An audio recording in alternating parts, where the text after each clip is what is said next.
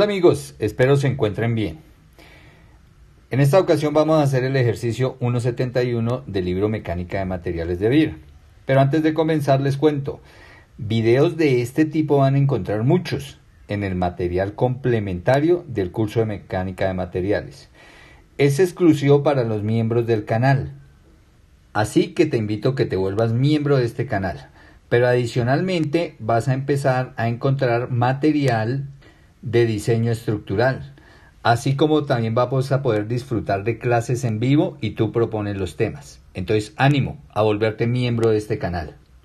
Bueno, y el ejercicio nos plantea, determine el esfuerzo normal promedio en la sección A. Entonces, miren la sección A, es este en este elemento. Y el esfuerzo cortante promedio en la sección BB. Vean la sección BB acá. Es una sección vertical y esta es una sección perpendicular al segmento. La sección transversal es cuadrada con 0,5 pulgadas de lado. Entonces acá, si yo hago un corte, me va a quedar o voy a ver un cuadrado de 0,5 pulgadas de lado.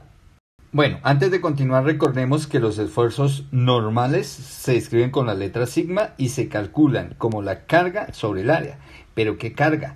Recuerden que tiene que ser carga axial, o sea, a lo largo del elemento. Cuando son cargas axiales podemos hablar de esfuerzos normales. Y el promedio, aquí está, aquí está el promedio de este esfuerzo, entonces la carga sobre el área.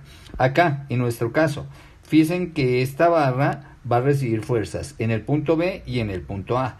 Como solo va a recibir dos fuerzas, para que esa barra esté en equilibrio, se necesitará que esas dos fuerzas lleven la misma dirección, y es la dirección de la barra, para que al sumarlas me dé cero porque este elemento no se mueve. Sin embargo, las dos fuerzas aplicadas aquí generan compresión sobre la barra, y una compresión es un esfuerzo de tipo normal, y entonces lo calculo como el valor de esta carga sobre el área. Eso por un lado. Ahora, hablemos de los esfuerzos cortantes. Entonces los esfuerzos cortantes suceden con cargas que son perpendiculares a la sección longitudinal. Miren, entonces, este elemento, su sección longitudinal, es como lo marca la flecha azul, ¿cierto? Esa es su sección longitudinal. Y fíjese que la carga P viene perpendicular a esa sección. Eso me genera esfuerzos de tipo cortante que se simbolizan con la letra tau y que se calculan como la carga cortante sobre el área. P aquí viene a ser la carga cortante. Listo, pero fíjense en una cosa, esta carga con respecto a la línea BB, si ven la dirección, no serían perpendiculares, como me lo exige acá. Entonces tenemos que acá tomar la sección y hacer una descomposición y buscar la perpendicular para poder calcular el esfuerzo cortante promedio. Y de eso se trata el ejercicio. Bueno, pero antes de continuar te voy a dar unos segundos para que te suscribas a mi canal y disfrutes de todo el material, todo el contenido que tengo acá. ¿Ya te suscribiste? Entonces ahora sí continuemos. Bueno, ¿y cómo vamos a solucionar el problema? Entonces lo primero pues será calcular la fuerza que actúa sobre esta barra porque me están pidiendo los esfuerzos en estas secciones. Y esta barra, fíjese, está acoplada en los puntos B y A a una barra y aquí a un pasador. Entonces, lo que vamos a hacer es tomar la barra CB, esta, en la cual conocemos la carga que tiene esa, esa barra está articulada acá, entonces vamos a tener dos reacciones, una CX y una CY. Y acá en el extremo B vamos a tener la fuerza P, o sea que sobre esta barra tendríamos tres incógnitas, CX, CY y P. Y esta P es la que necesito para esta barra. Entonces la fuerza de esta barra la voy a calcular a partir de la barra CB. Entonces hagámoslo.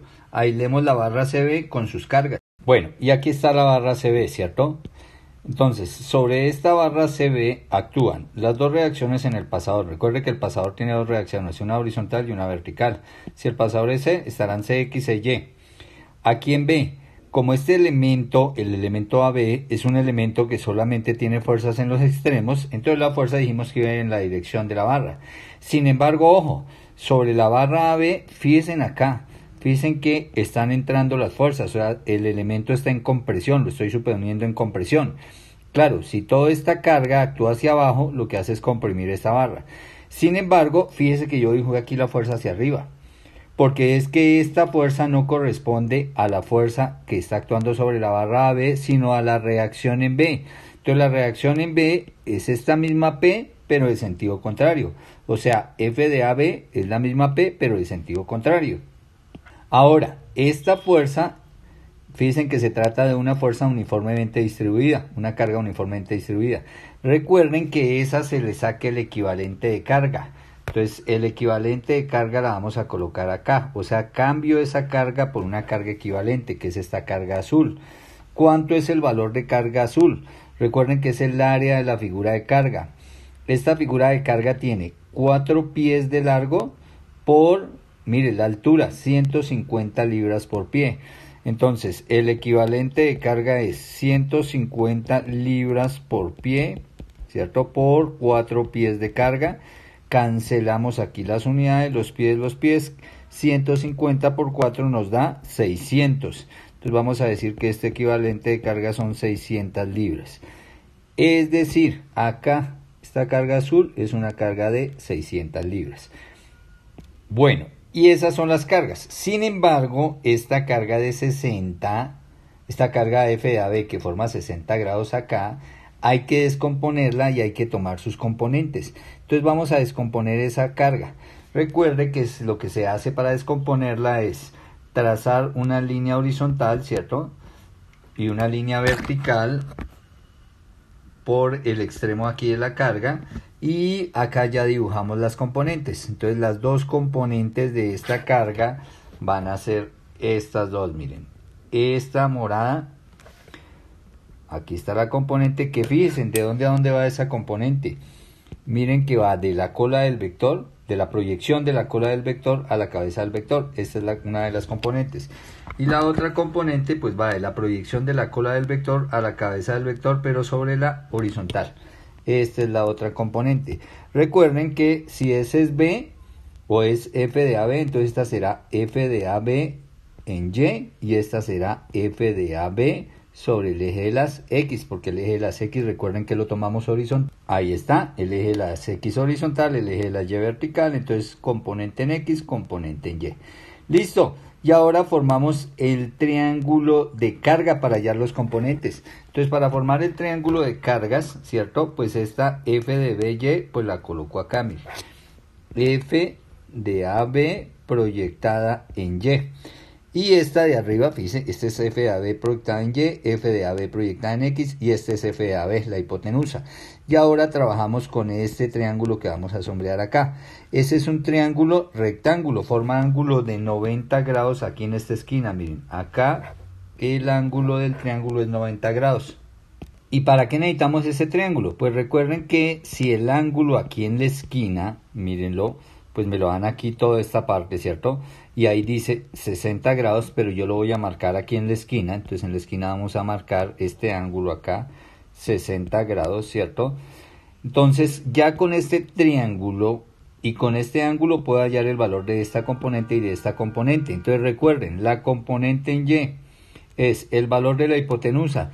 ¿Quién es la hipotenusa? Pues será f de AB, ¿no? f de AB es la hipotenusa. Esta es nuestra hipotenusa del triángulo.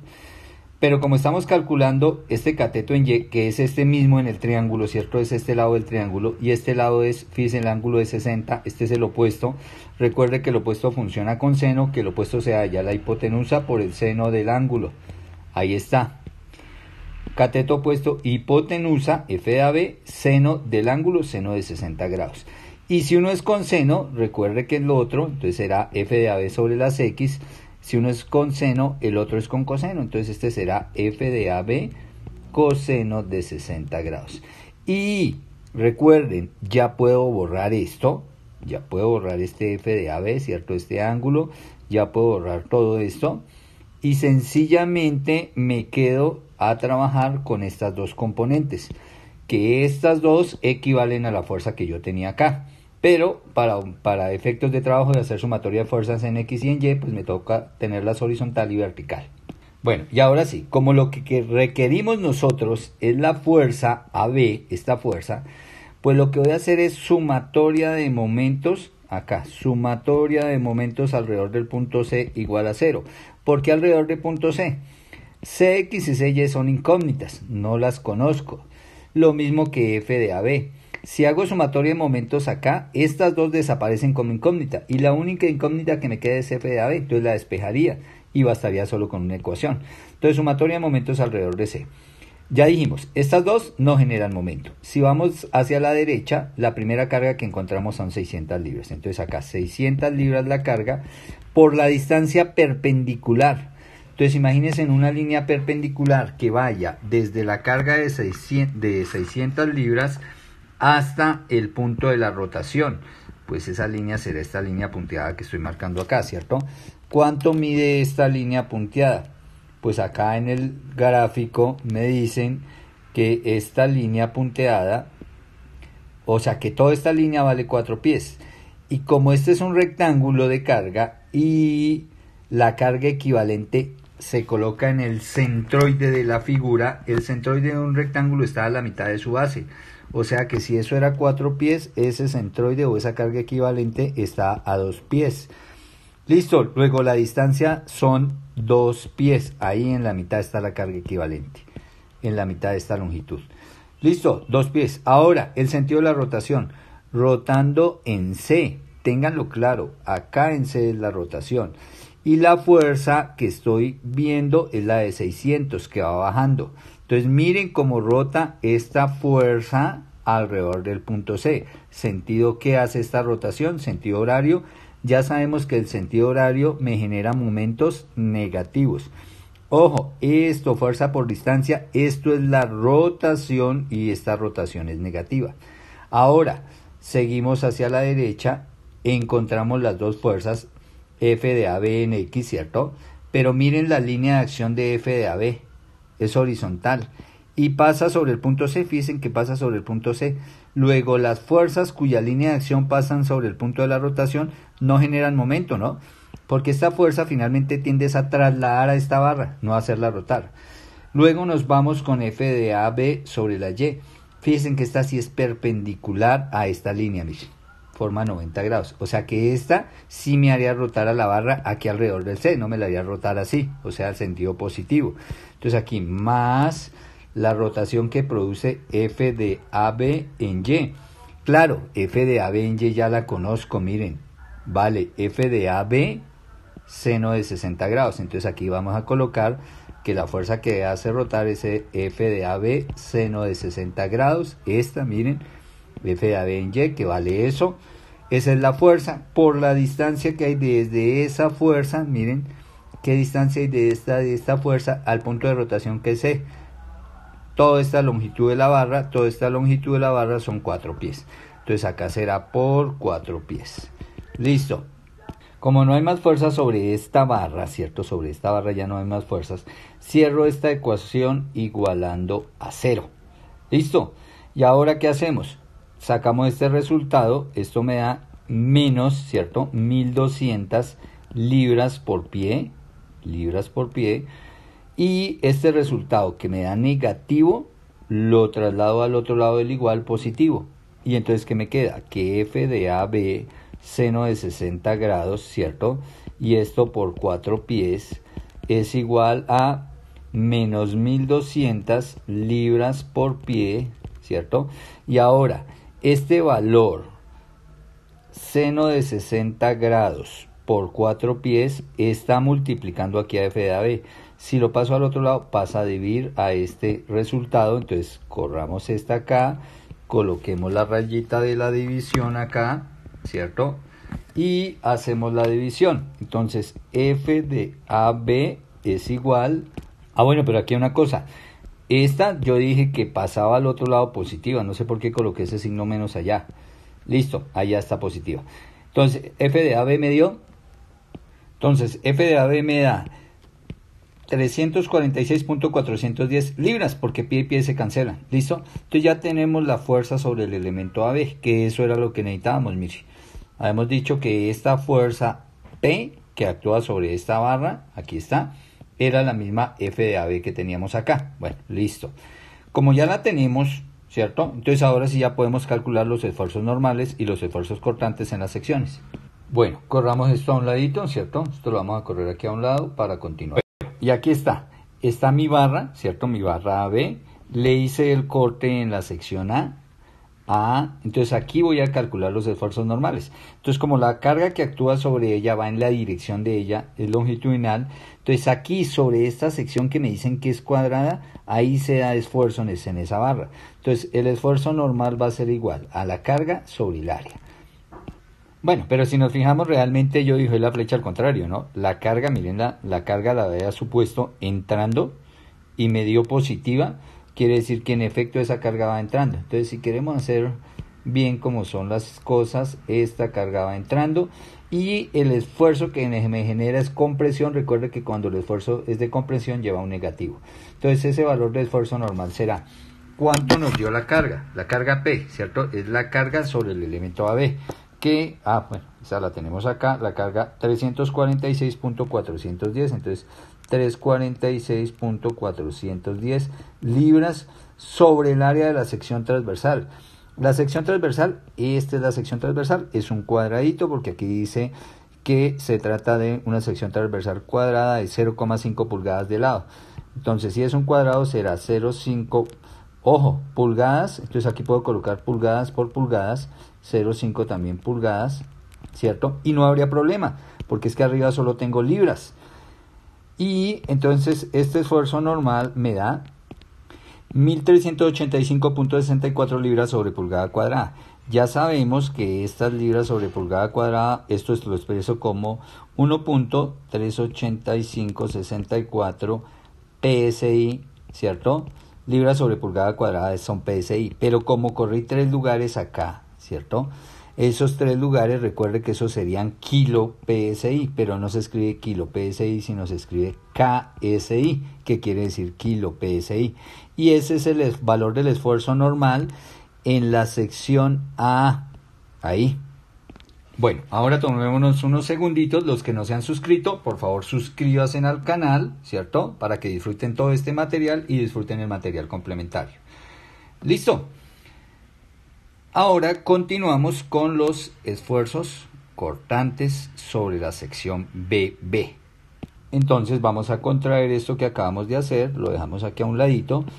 Además, en el curso complementario disfrutan del el PDF que se lo voy a dejar en la descripción del video donde les muestra todos estos procedimientos. Bueno, y esta es mi situación para el cálculo de los esfuerzos cortantes en la sección BB. Entonces aquí está la, la letra B, BB. Entonces dicen, la carga axial está entrando y generando compresión. Sobre esta sección produce esfuerzos normales. Pero como me piden sobre la sección BB, o sea, en un plano que estará escondido, estará aquí para allá, ¿cierto? Y que forma cierto ángulo que lo voy a llamar acá, teta grados, teta grados con respecto al plano perpendicular de la barra. Ahora, lo primero pues saber ese ángulo teta cuánto es. Y luego lo que hago es coger esta carga y descomponerla en dos cargas. En una que vaya en la dirección BB y en otra que vaya en la dirección perpendicular a la sección BB. La que va en la dirección BB genera esfuerzos cortantes. Para el ángulo, pues vamos acá. Miremos este triángulo. Entonces es el triángulo CBA. Aquí hay ángulo de 60 grados. Quiere decir que aquí hay ángulo de 30 grados. ¿Quién es el ángulo de 30 grados? El ángulo que hay entre la vertical y la barra. Si nos vamos acá, Fíjense que este BB es vertical y esta lleva la dirección de la barra. O sea que este ángulo de esta línea acá son 30 grados. Y obviamente ese 30 grados también lo puedo colocar acá, miren, 30 grados. ¿Por qué? Porque esta es la vertical, ¿cierto? Y esta línea pues es paralela con esta línea. Y entre estas dos líneas vertical y esta carga P, o sea, este filo y la vertical, 30 grados. Quiere decir que este teta acá son 60 grados. Y son 60 grados porque, pues esta es mi sección transversal, ¿cierto? Y la sección transversal queda a 90 grados de esta cara. Entonces ahí está, 60 y 30, 90. A continuación lo que hacemos es lo siguiente. Pase mi eje X, pase mi eje Y. Fíjese que el eje Y pasa por encima del eje BB. Y ahora lo que hago es descomponer esta fuerza en dos componentes, que son las siguientes. Esta fuerza que recorre el eje X, ¿cierto? Esta fuerza que recorre el eje Y que va bajando, pero fíjense que esta fuerza lleva la dirección del plano BB. Entonces esta fuerza es la que causa esfuerzo aquí cortante. La podemos llamar perfectamente aquí P lleno porque vamos a llamar a este nuestro eje Y y a este nuestro eje X. Como está en Y, entonces esta es PY y es la que fluye en la dirección del plano y esta es la que genera cortante. O sea que el cortante, el esfuerzo cortante, recuerde que se trabaja con la letra tau. El esfuerzo cortante se calcula, en este caso, como el valor de PY sobre el área, el área de la sección BB. Y entonces miremos, la carga PY pues ya es fácil, porque si aquí el ángulo es 30 grados y ya conocemos P, recuerden que conocemos que P es el mismo FAB, ¿no? Entonces P es el mismo FAB que vale 346.410. Entonces acá esta P vale 346.410 libras. Y si vemos aquí el triángulo, obviamente esta es la hipotenusa, este es el ángulo de 30 grados, obviamente PY viene a ser el adyacente. Y entonces recuerden que el cateto adyacente es el valor de la hipotenusa que en este caso son 346, ¿cierto? Punto 410 libras por el coseno, no por ser el adyacente por el coseno del ángulo que es 30 grados y ahí está PY. Entonces, el cortante es igual a 346.410 libras coseno de 30 grados sobre el área sometida cortante. El área sometida cortante viene a ser en este caso esta área. Pero esta área no se conoce, se conoce esta área que es el área de la sección transversal. Aquí esta área que es mi sección transversal. Pero yo sé que esta área de la sección transversal forma 60 grados con esta área. Entonces, si yo veo el triángulo, ese triángulo es rectángulo acá, miren. Ahí es rectángulo. Si este es el ángulo recto, quiere decir que esta es la hipotenusa. O sea que debo calcular esta hipotenusa. Entonces, ¿cómo calculo la hipotenusa? Entonces recuerden que en un triángulo rectángulo la hipotenusa se calcula como el cateto adyacente sobre el coseno de 60 grados. O lo mismo, ¿no? Uno sabe que el coseno de un ángulo, o sea, si paso este coseno acá, es cateto adyacente sobre hipotenusa. Eso porque conozco, pues obviamente este que con respecto a 60 grados, mírenlo, es el adyacente y este es la hipotenusa, por eso utilicé coseno. Bueno, o sea que mi hipotenusa es el cateto adyacente. El cateto adyacente pues viene a ser esta área. ¿Cuánto vale esa área? Pues allá arriba al, principio del problema me dijeron que, esa, que eso era un cuadrado y que era de 0.5 pulgadas por 0.5 pulgadas, ¿no? Porque es un cuadrado, sobre coseno de 60 grados. Y allá tengo el valor de la hipotenusa, que viene a ser el área de la sección BB. Bueno, esto nos da 0.5 pulgadas cuadradas. Y listo, como ya tenemos el área de la sección BB 0.5 pulgadas cuadradas, entonces ya podemos sacar el cortante sobre la sección BB. Bueno, este cortante a mí me da 600 libras sobre pulgada cuadrada, que ya sabemos que esto es lo mismo que 0.6 KSI, ya lo hemos explicado anteriormente. Y listo, ahí tenemos el cortante sobre esta cara, sobre esta cara de este elemento, ¿cierto? Si tomáramos esta dirección es el valor recortante debido a esta situación de carga y a la manera como está este elemento. Bueno, si les gustó los videos, entonces recuerden, me regalan el like, se suscriben al canal y comparten estos videos. Recuerden, tenemos mucho material y mi invitación nuevamente a que se vuelva usted miembro del canal y disfrute de muchos beneficios que tiene el canal.